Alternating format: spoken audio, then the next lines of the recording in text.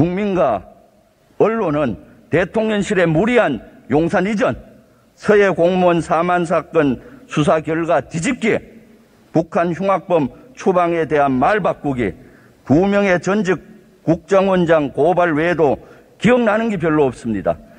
총리님이 생각하는 거와 국민이 생각하는 것은 너무나 괴리가 많습니다.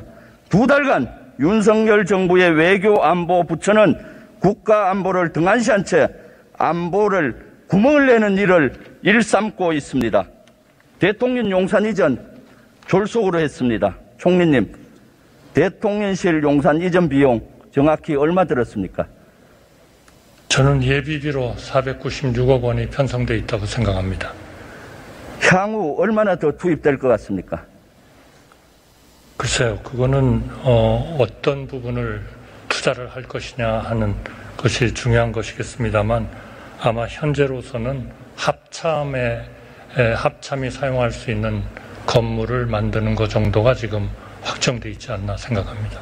단기적으로는 본 위원이 판단하기에 3,500억 이상이 중장기적으로는 수조 원이 들어가고 있습니다. 3,500원 어떤 것인지 아십니까? 저는 합, 합참청사 신축 이전이 약 2,980억 플러스 알파가 좀 있다고 그렇게 생각. 국방부 시설 재배치를 해야 됩니다. 거기에 200억 이상, 국방부 울타리 공사에 66억 이상, 남태령 이전 비용 합참 3천억 이상, 대통령실 감시체계 구축 예산 추가 이것만이 아닙니다. 사이버 사령부도 이사해야 됩니다. 경호처와 작전 통제부대 101단, 202단 이사하고 삶의 질을 높여줘야 됩니다.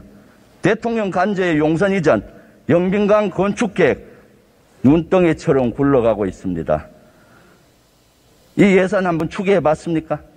앞으로 그런 예산과 무엇을 어떻게 해야 되는가 하는 것은 어, 관계부처와 논의하고 또 국회의 예산 심의를 받아야 할 것으로 어, 생각이 됩니다만 그러나 어, 대통령께서 청와대를 나오심으로써 그 수많은 수백만의 국민들이 예, 그렇게 에, 청와대를 방문하는 것을 좋아하고 하는 것도 또 하나 큰, 총리님. 큰 우리 국민한테 베풀 수 있는 답변에 수 있는 질문에 답변만 해주십시오. 하나, 하나 의 기쁨이라고 생각합니다. 그거는 의원님도 아마 같은 생각을 하시리라고 생각합니다.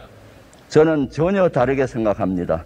저는 개인적으로는 5년만 더 살고 5년 이후에는 청와대로 들어가야 된다고 생각합니다. 왜냐? 너무나 많은 문제가 있기 때문이죠. 예산 하나 추계 못하는 것은 아직도 마스터 플랜을 못 만들기 때문이죠. 어떻게 정부가 마스터 플랜 하나 못 만들고 있는 아마추어 정부입니까?